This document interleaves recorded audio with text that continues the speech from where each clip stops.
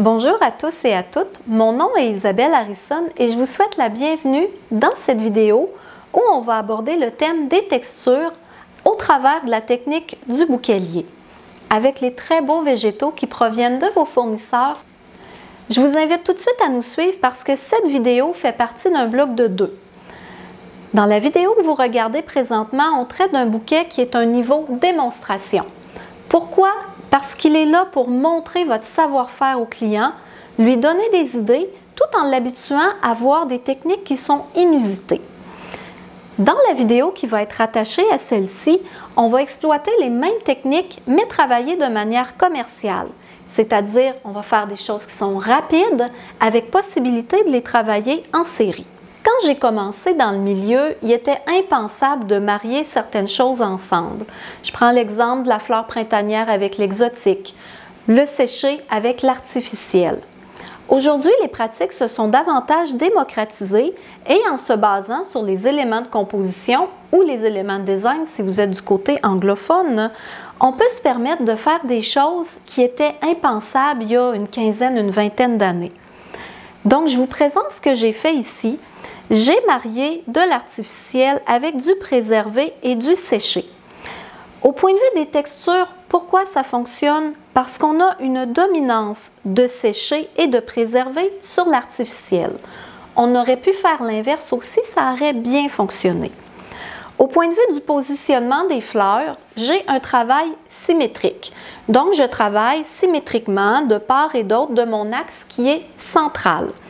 À certains moments, j'ai travaillé par 4, 1, 2, 3, 4.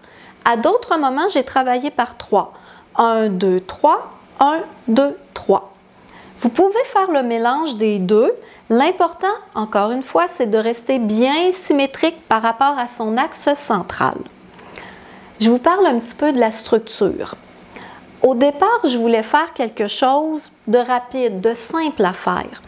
Donc, j'ai construit un anneau en carton que j'ai recouvert de raffia, très très simplement. Et puis je me suis dit non, parce que le raffia, c'est un matériel qui est abordable, c'est un matériel qu'on trouve relativement partout, mais qu'on a tendance à travailler toujours de la même façon. Alors j'ai voulu pousser plus loin.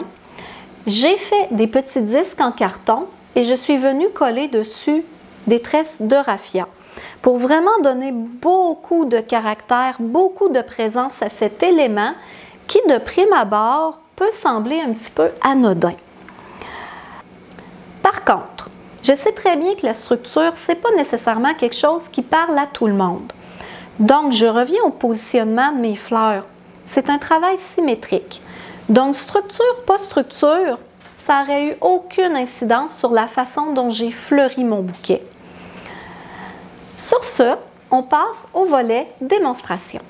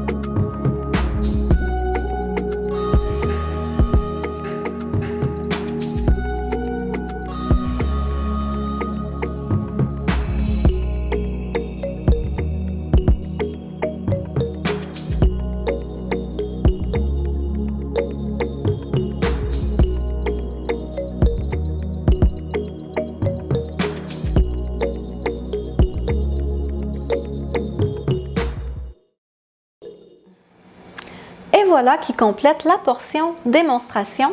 Je vous fais un petit retour sur la technique. On a donc un positionnement qui est symétrique. L'axe est au centre et on travaille de part et d'autre de cet axe de manière symétrique. Une structure qui a beaucoup d'importance mais qui n'a pas d'incidence sur le positionnement de mes fleurs. Une dominance d'un élément sur un autre, ici le séché et le préservé, sur l'artificiel. Enfin, si vous avez la moindre question au sujet des éléments qui ont été travaillés dans ce bouquet, je vous invite à aller poser des questions à votre représentant qui vont se faire un plaisir de vous répondre. Et sur ce, moi je vous dis au revoir et à bientôt.